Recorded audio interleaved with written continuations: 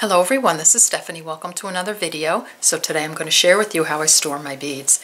So I'm going to break this video down into three parts. One is storing seed beads, and this can be used for seed beads, delicas, um, super duos, mini duos, bugle beads, you know, any small bead. Then I'm going to do the next clip on fire polish, and the final clip is going to be on storing additional beads. Now you don't have to have the dollar bead box or dollar bead bag to store your beads this way. I'm just using their beads as an example. So a couple things. One, this is all about storage for me. So how you display your beads, whether you display them on the wall, hanging on the wall, hanging on pegboard, um, whether you display them on your your desk, whether you display them in, in you know in a um, dresser or an armoire, you know that's different. But this is how to get things stored so that when you look for a bead, you're going to find it and you're going to be inspired. I mean, I'm I love all my beads, but I'm not inspired when I look at this. But I will be inspired once I break everything down and store it. All right, so um, I'm going to clear this off and we're going to get started on our storage. Okay, let's get started storing some seed beads. So when I purchase my like my main color seed bead that I use a lot of, I purchase in bulk. So I'll get a 100 gram bag, 50 gram bag, 150 gram bag, and I'll break it down and I'll store them in these little tubes. So my favorite tubes are by Beadsmith. I love them. Um, and I buy six inch tubes and I buy three inch tubes and this is what I use to store my seed beads. But it doesn't have to be just seed beads. I store my O beads, my bugle beads, my drop beads, my super duos, um, these six by four millimeter drops, I store those in tubes. Everything, everything small I store in tubes. All right, so I'm gonna push those aside.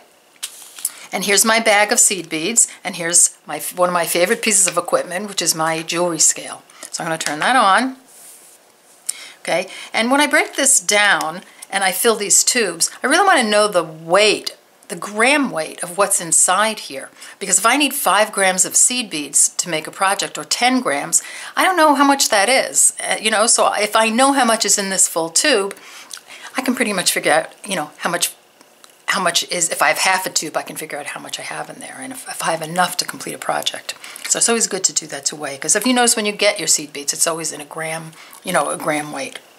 All right, so here I've turned my scale on and I'm at zero and I have it set on grams. It's that little G right there. Let me pull a teeny bit more. I'm gonna weigh the tube because I don't want the weight of the tube included. So I'm gonna weigh the tube. This tube is a little over two grams. And there's something called a tare button. And when I press that, that subtracts the weight of the tube from my full weight once I put the beads in there. So that won't be included in the final weight. So I'm just going to move this the scale aside. Now I'm going to fill the tube. So here's my tube. Here's my bag of beads. And this is pretty easy just to, I do it over a mat or a board. And I fill it up like so. And I don't fill it all the way. I fill it just to the bottom of where the cap ends inside because that if I fill it all the way and I jam jam it closed, when I open it, they're just going to fly all over the place. So that's what I do. And go back to my scale. And my scale is still at, it's going to subtract 2.02 grams. So when I put this on, the weight is going to be 13 grams, a little over 13 grams, and that is without the extra 2 grams for the tube. All right, so I know when I pick up this tube, this has 13 grams of seed beads in it. And if I need 6 grams, I know I have enough. So if I just have this tube left over. If I need 12 grams, I know I'm going to make it because this is it's 13, a little bit of a 13 grams in here. So that's what I do. And then I, ha I have these baskets, and if you saw my video, pull out, on my studio, you'll know that I have lots of, I have shelving units around my studio and I store everything in baskets and these are about seven and a half inches by I think 10 or 11 inches and they're lined inside with kind of this linen and I label them and you'll see that my label are on in the next clip.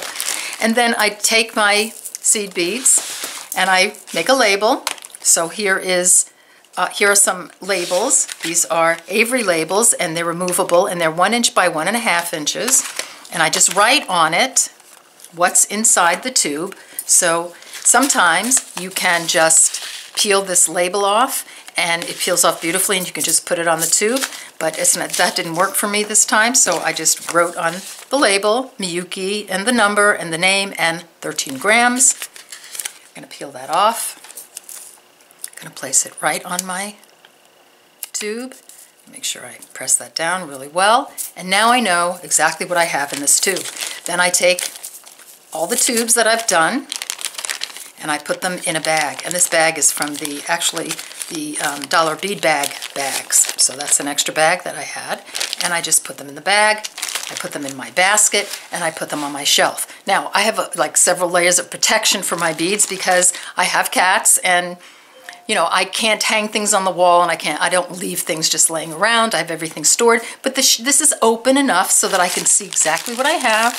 When I need a silver bead, I'll just grab that. Here's a gold bead, you know, so it's perfect for me. This works out great. If you, you know, don't have animals that you have to worry about, you can get a, ba a basket that has partitions in it and then just put all your tubes in there or, you know, or just lay them in there, whichever you like best. But this works best for me. So actually I'll just leave that there. So this is exactly how I store my seed beads and my small beads.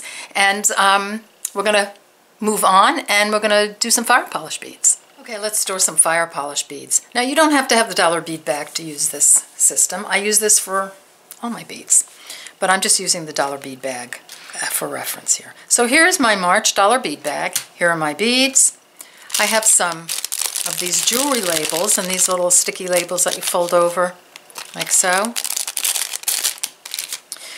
And I have some regular labels. So I've taken my beads out and what I did is I just took one of the jewelry labels and I labeled it March 2021. So I know that this strand uh, is from March of 2021. Now if you want to go a step further and put the color on, you could do that as well.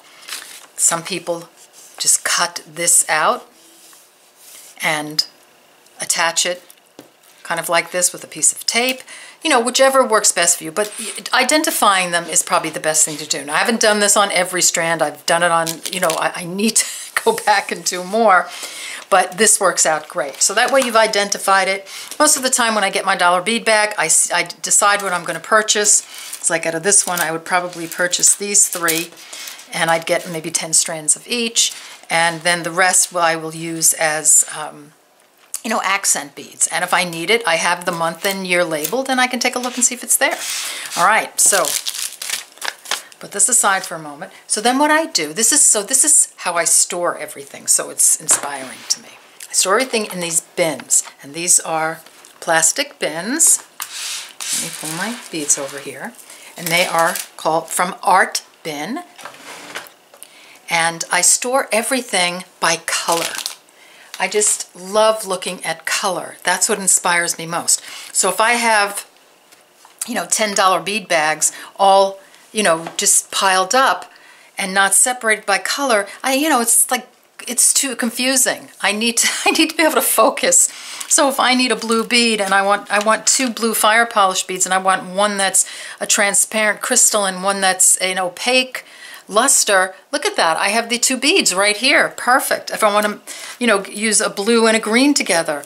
How gorgeous is that? So uh, this to me is so inspiring to to open this box, and I have another box with the black and white in it, um, and it's so inspiring me to open, inspiring for me to open this box. And if I need a neutral here, look at all these beautiful neutrals, golds and such that I have. So I've taken my my um, where's my oh here's my strand that I labeled okay, here. So March 2021, and I'm just going to pop it in there. And now I have it in its green container. And I do this with all my 3 millimeter, 4 millimeter, 6 millimeter, whatever I have, I do it all. And I just separate everything by color. Now, some people take all these strands, they do exact same thing and they hang them on pegboard in their studio and that is so beautiful to do that to so that you're just looking at them and you have these gorgeous this gorgeous rainbow of color hanging on your pegboard and I think that's a great idea um, I have cats so I'm you know I have a little extra layer of protection so I keep everything in these bas in these boxes so that's how I how I store them and then let me move my lights out of the way there we go I label everything with my labeler. And I'm just going to show you my labeler. You, oh, before I do that, I take this um, paper and I put it in the bag. And I have 12 of these for, for the whole year in the bag. And so if, when I need to refer back to it, I have them all in one bag. They all fit in one, one of the bags, so that works out perfectly. So here, let me show you my labeler. I am a like an office office supply freak. I love to organize and label things. So I, I want to um, make another label for my next other box of fire polish beads. So you just turn it on, you type in your, you know, fire polish beads and then you print and it comes right out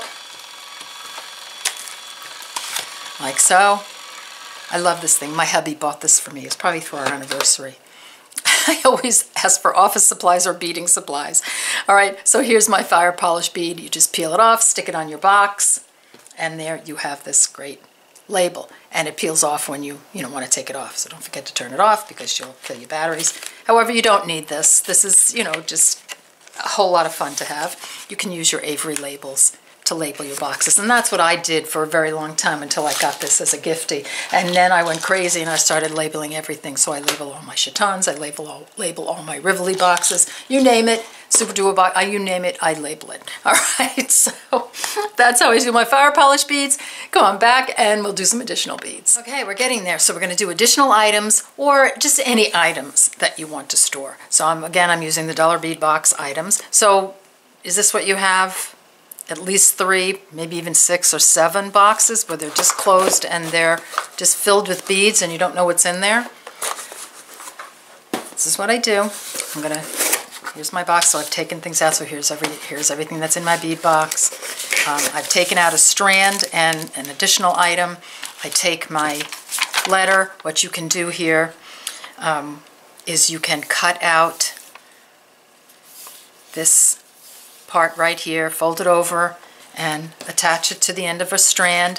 I've just taken one of my those little jewelry tags and I put March 2021. This is the Blue Apatite color with bronze luster. It's a pinch bead. You can add that on um, to be a little bit more detailed if you like. I'm fine with just putting the month and the year. And then I go to the additional items. So here I have my uh, Chinese crystal cut rectangles, 4 by 8 millimeter, turquoise rainbow iris, that's this bead.